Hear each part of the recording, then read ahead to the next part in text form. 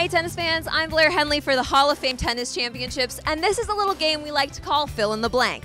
I'm going to start the sentence for the player, and they're going to finish it. Easy enough? We'll find out.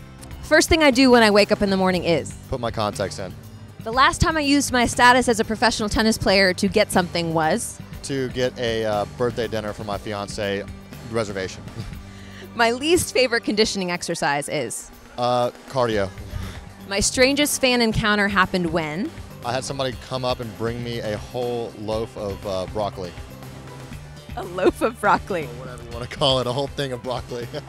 The thing my coach tells me most often is uh, keep your head down.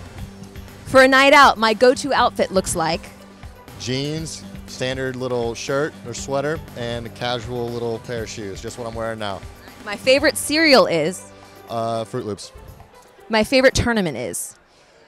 Newport, Rhode Island. Uh, favorite term, U.S. Open. If I had a pop star alter ego, he or she would be Alter ego. Oh gosh, pop star. I can't I can't go with like a country star. it could be country. We'll do music star. I'll say music star. I'll go I'll go with Luke Bryan because he's like kind of he's kind of like country-ish, you know. Grab a beer with your bro kind of guy. Exactly, and he's you know he's got that pop element too. Solid. If my racket could describe my personality, it would say I'm. A murderer. And with that, Ryan Harrison, you survived. Fill in the blank. Way to go.